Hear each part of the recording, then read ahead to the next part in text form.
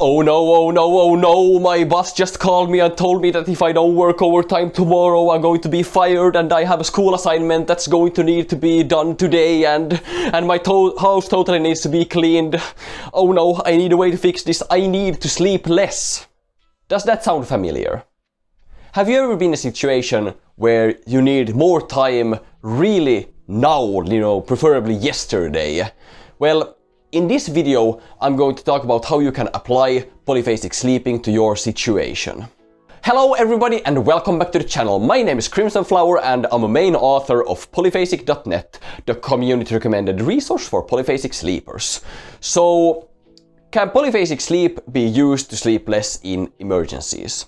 Well, it depends on how you look at it. First, let me link you to a video where we talk about how much you can alter your polyphasic schedule from an already adapted schedule if an emergency comes up. Uh, a link to it will be in the description. As that's going to be useful for people who are already adapted to a polyphasic schedule and suddenly need more time, you know, really immediately.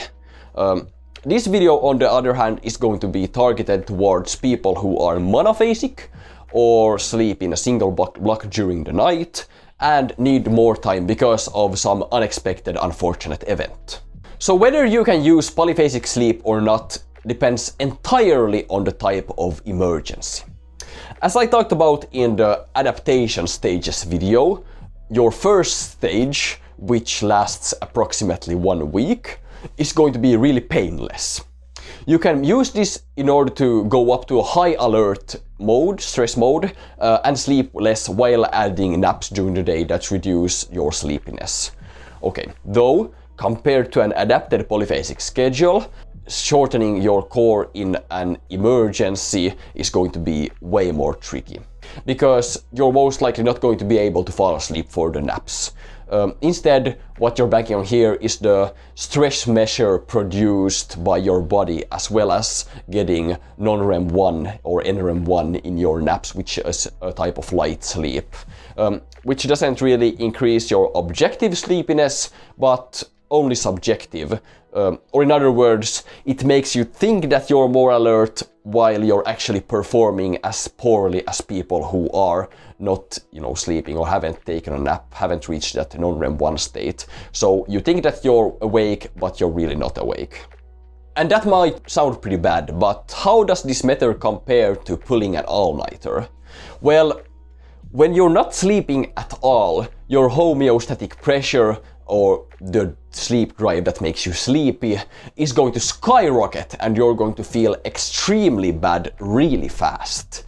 By sleeping some, especially more frequently than once a day, uh, this pressure is not going to build as fast and you're going to be able to make use of this for a longer amount of time. So that's pretty great. Um, for example, it's really hard to pull several all-nighters in a row, but when you're on an Uberman schedule with only two hours of total sleep at, at, a time, you can easily go for a couple of weeks without crashing. You know, it's, it's really crazy, the ability that polyphasic sleep grants you. But we'll talk about that more later in this video. Another negative to this method than just relying on non-REM 1 is that if you don't plan to stay on your polyphasic schedule and only shorten your sleep for a short time frame, um, you're going to need a massive amount of recovery to get back to your monophasic sleep needs, you know, to perform as well as you did when monophasic. A lot of that is going to need to be regained. Because of that, this method of hopping between polyphasic and monophasic sleeping should only be done in particular instances. Uh, like you need to finish a lot of work before a vacation and are then able to catch up on the lost sleep or something similar. But you can also use this time to start an actual polyphasic schedule, okay, with the goal of staying on the polyphasic schedule for a very long time. Um, in this case, you should schedule your adaptation so that the third stage, uh, which roughly occurs in the third week of adaptation, um, doesn't in interfere with some high alertness requiring tasks. Uh, this should hopefully not be an issue because you're going to get a lot of work done before the third adaptation stage because of the extra time gained. Um, so like in the first and second adaptation stages, it's, it's going to be much better then. Um, if your goal is to be polyphasic for a very long time, you should definitely hear what we have to say about the different schedules so that you choose one that fits your needs from the beginning. And you don't want to completely abandon your schedule progress after a few weeks when you find out that your schedule isn't compatible with your sleep needs or your type of person. Um, so we've made a whole playlist on the different polyphasic schedules that I suggest you check out. The link to it will be in the description. But okay, let's go back to the temporary switch.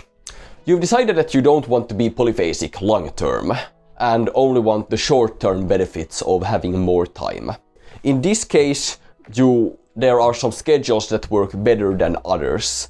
Because the nap-only schedules reduce your sleep time by so much, they are actually going to make your first adaptation stage shorter. And you should thus probably avoid them, except, you know, in extremely dire situations.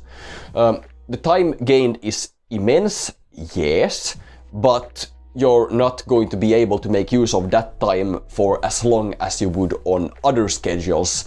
So, you know, it takes quite a bit of math, but some schedules might actually grant you more time because you're able to utilize them longer than nap-only schedules. My recommendation is that you stick to schedules with around 4 hours of total sleep, like Everyman Tree, Dual Core Tree or Bimaxion. Uh, but that has a chance of you waking up during slow wave sleep for the nap, so it's possible that, that it's not that good of a schedule. But, but Everyman Tree and Dual Core Tree, those are your best bets if you need a lot of time. Higher total sleep time need people, you know, people who need a lot more sleep, who sleep maybe 10 hours when monophasic, 9 hours, you know, above what normal people sleep. Those people should probably suffice with going to, you know, Everyman 2, dual core 2, dual core 1, some, some schedule like that, you know, don't reduce your total sleep time too much because that's again going to shorten the duration that you spend in stage 1 and stage 2. Okay, avoid that. So assess what your sleep needs are and then pick a schedule that reduces them by, you know, maybe 4 hours if you need a lot of time. So now you have a gist of which schedules to use and when to use them. And I'll quickly tell you well, you shouldn't use this method, okay?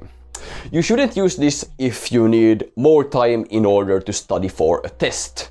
See, slow wave sleep and REM sleep are vital for memory consolidation.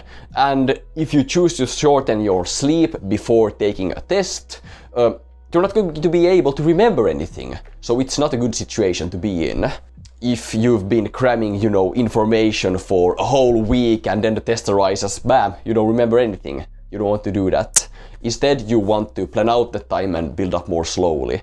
It's, in most cases, even better to not study for a test and just sleep a whole night instead of cramming all that information in and doing an all-nighter, you know. It's, it's really crazy actually when you, when you hear it like this, but that's the unfortunate truth here. Uh, anyways, I hope you understood something from this video. I hope that you help that I helped you in some way, okay?